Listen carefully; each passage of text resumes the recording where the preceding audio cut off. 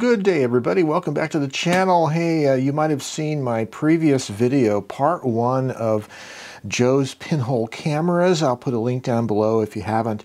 Well, I had a fun time shooting that uh, uh, lengthy uh, series of videos with Ethan Moses, but in the meantime, after I put together that first piece, I was tinkering around in the garage and I came across a couple unused 35 millimeter developing tanks, these stainless steel tanks. And I had this idea for a long time that I would like to turn a stainless steel developing tank into a self-developing pinhole camera. Drill a hole in the side of the canister, mount a brass pinhole on the inside, have some kind of a shutter and be able to put a piece of paper curved along the side walls inside the camera opposite the pinhole and then you can develop it in the canister and use a rotary base and uh, so I went ahead and put together this little camera last week and uh, this is my first opportunity I've had to test it out. Let's see what happens. Well in theory this was one of the easiest pinhole cameras to build.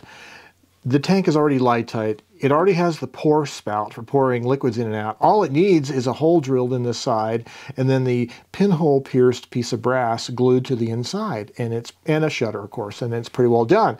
So the hardest part was actually getting the hole drilled in the side of the tank, in the steel tank, getting it started, getting a bit started in there was really rough. Uh, I started by using a metal punch and tried to, with a hammer, tried to ding the metal, put a dimple in it enough so where a tiny little 1 16th inch drill bit was, would take and, and wouldn't dance around the surface of the metal. I couldn't do that. It was too tough. So I resorted to using a I think this is a 3 16 drill bit, the kind that fits into a rotary tool. This is a Great Neck off-name brand, like a, basically takes the same attachments as a Dremel. And with this conical tip on the drill bit with a point on it, I was able to work a little hole, a really tiny hole, right in the steel, just enough for the tip of this 1 16th inch drill bit to dig in once I used it on my drill press. And then I was able to drill a 1 16th inch hole through the tank. And then once I did that, I could use the larger drill bit with a conical tip and finish drilling the hole there. And then I went to a slightly larger size. I think the final size on this was 3 16ths, just under a quarter inch. And of course, the hole in my sleeve style shutter is a quarter inch hole. Then the other challenge, of course, not that hard of a challenge, but was just uh, gluing the piece of brass on the inside. This is two mil, uh, two one thousandths of an inch thick brass. And I mixed up a two-part epoxy and put the epoxy around all four sides of the piece of brass and then carefully positioned it in the tank and referenced the pinhole through the opening to get it centered. What I didn't want to have happen is I didn't want the glue before it could cure to migrate in and clog the pinhole. That was the challenge. So I kept having to make sure it was properly positioned. And then I needed to get make sure the edges of that square of brass were pressed down enough and I had to put more glue around the edges to build up a permanent uh, dam, if you will, of glue all the way around it. And it looks like it worked. When you do that, make sure the metal is at room temperature, because I normally keep this stuff out in the dark room, and in the wintertime it gets cold out there in the garage, so had to make sure this was warmed up to room temperature so the glue would cure properly. But essentially that made a pinhole camera. And from there, all I had to do was fashion this little makeshift shutter, which is just a, basically a piece of two inch wide black uh, craft paper that I've taped clear packing tape on to give it a little bit more liquid resistance if a little bit of liquid spills on it in the developing process. And uh, that's uh, taped around the canister fairly snugly and then a couple pieces of gaffer's tape as an indicator marks for where the pinhole is when you turn the shutter. Anyway, that's pretty simple camera, not much to it. Drilling the hole is the hardest problem. So you're probably thinking to yourself, you just made a bunch of videos about downsizing your pinhole camera collection and now you're making another camera? Well, that's what happens. Uh, you know, I'm going to be getting rid of my older cameras and I have this new idea, a couple ideas like this, but Um, I already have a piece of Harman direct positive paper loaded up in this camera. I've already metered the exposure, taken the exposure. It was a brightly lit, sunny scene on my front porch, winter daylight. It was about a two and a half minute exposure. The pinhole is about f280, and now I have some little canisters here that I'd like to, with already developer stop bath fixer and rinse water and I'd like to go ahead and try developing it. I don't know what's going to happen. I haven't used this camera before. I don't know if my developer is too weak or whatever. So this might be a great flop, but I'm going to try it. I'm going to try developing this right here on the table. Uh, this is not really a compatible place for doing developing because it's not really good for like this pad material. You don't want to really get it wet or anything. I have my little container here and I recently got these plastic containers. I have six of them that were given to me and uh, they hold a little bit more than 100 milliliters of liquid, so I thought that would be a good quantity for using in the little tank here. Developer, stop bath fixer, and then a rinse between each one. And because of the possibility of spills or whatever, um, I'm going to put my rotary base in this other tray here. So I can rotate the, the tank like this and uh, not get any spills on the table. Now, uh, one of the things I should mention here, this camera has a pinhole, a metal pinhole mounted on the side of it, and it's made of brass, and brass will degrade over time exposed to acids like stop bath and other chemicals. So I don't want to get the pinhole wet. So my intention when I develop this is to keep the pinhole in an up position, which is marked by these two pieces of tape. That's where the pinhole is underneath this moving sleeve. This is a sleeve shutter. And what I'm going to simply be doing is oscillating the tank back and forth. So it's just going to be a back and forth motion on the rotary base, just like that with the intention of keeping the pinhole not get exposed to liquid. And then when I want to pour the liquid out, I'm going to hold it so the pinhole is in the up position and I'll pour the liquid out into its container. Okay, developer, stop bath, fixer, three rinses, a waste container for the rinse water, and I need a clock to be running, so I'm going to probably use my wristwatch right here after the hour. Okay. We'll go for two minutes on the developer.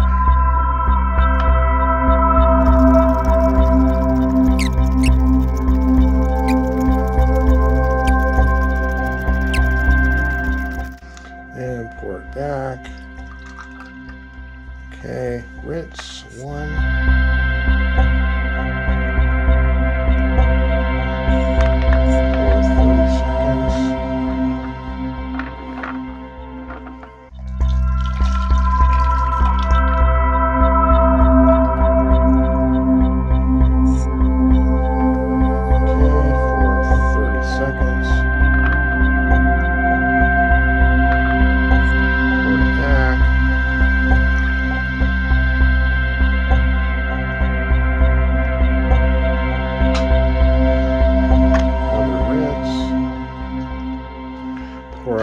Wastewater,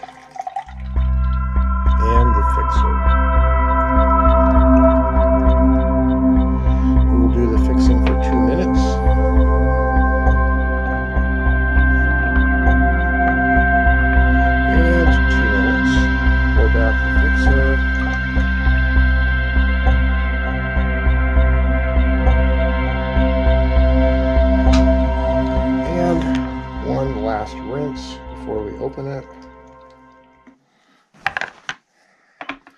for 30 seconds.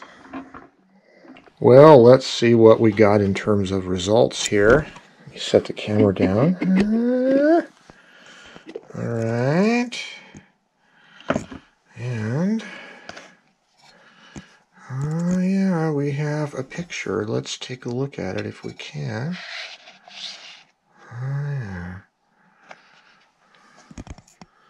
Looks like slightly overexposed, perhaps.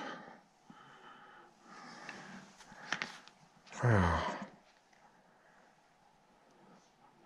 There's an interesting texture to this picture. There's a kind of a texture to the shadows, but definitely it works.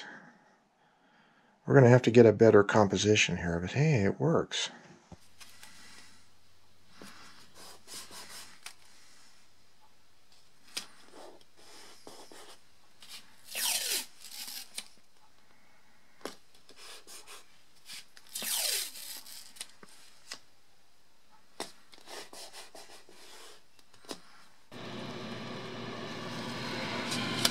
And dry.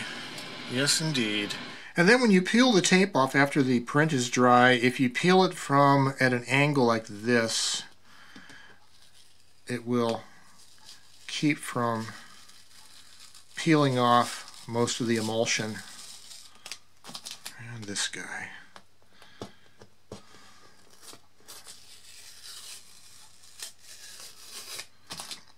And I'm using this artist tape, which is really good. It sticks to paper, but it doesn't stick so bad that it tears it afterwards.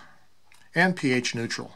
Well, so I uh, let this thing rinse for a few hours in some water and then I squeegeed it, I blow dried it on the surface and then I taped it to a piece of glass and dried it in my film drying cabinet. This, of course, this Harman Direct Positive paper is fiber-based paper, so it will curl unless you tape it flat while it's drying. So there it is. It's not a great shot. It was just set up on my front patio. It's just a random little pinhole shot. The angle of view on this camera is fairly wide. Uh, of course, depending on how long of a piece of paper you're using, this one was about five inches long.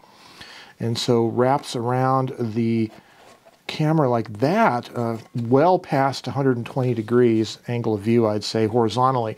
But the vertical angle of view is not really that great. It's more like about roughly a 60 degree angle of view if you just make a triangle from one side to the other. So you, when you're composing with a camera like this, you really have to be looking for the horizontal. It's more of a panoramic kind of camera. Okay, there it is. Good results. Uh, the exposure was slightly brighter than probably what it needed to be, I would think, because the darkest parts of the image are a little bit too light color, too light gray. But I rated the exposure here. So I rated the um, uh, paper at ISO 3, just assumed ISO 3. I used my Sekonic meter to meter it, and it called for a 2 minute 30 second exposure in morning sun, winter sun with a little bit of high clouds sifting in and out. So it wasn't strictly clear skies. And those kind of exposures are really difficult to figure sometimes. Um, in case you guys are curious about the calculation, so my Sekonic meter only goes up to f90, but the camera itself is f283.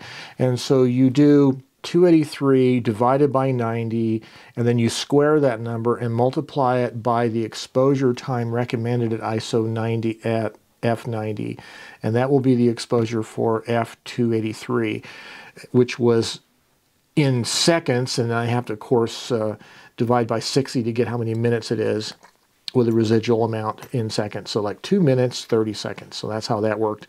It is an F283 pinhole, so it's 85 millimeter focal length roughly across from the pinhole to the center of the paper, and it's a 0.3 millimeter diameter hole, so that's F283.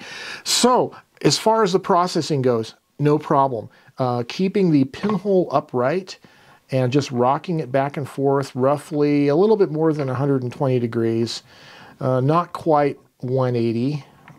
But uh, yeah, it seems to work fine. It looks to me like my processing was quite even as far as I could tell. Excited about that. Excited to have a self-developing pinhole camera like this that can take this size piece of paper, what you might call right on the border between medium format and large format. I believe going forward, I'm going to be using pieces of paper that are four inches wide by two and a half inches tall. And the reason for that is because I can cut eight of those from a, an eight by 10 sheet of paper. But this particular paper was actually three inches tall and by five roughly because it was just a scrap I found in my uh, one of my packs of Harman Direct Positive paper. And by the way, if you do happen to end up with a print like this one that was just slightly overexposed and you'd like to darken the shadows a little bit, you can selenium tone it. That's a good way to do it. Selenium toning will not only give you that kind of warm tone selenium look, it'll darken the shadows slightly, and of course it makes the fiber-based print uh, more archival, protects the silver emulsion from oxidation.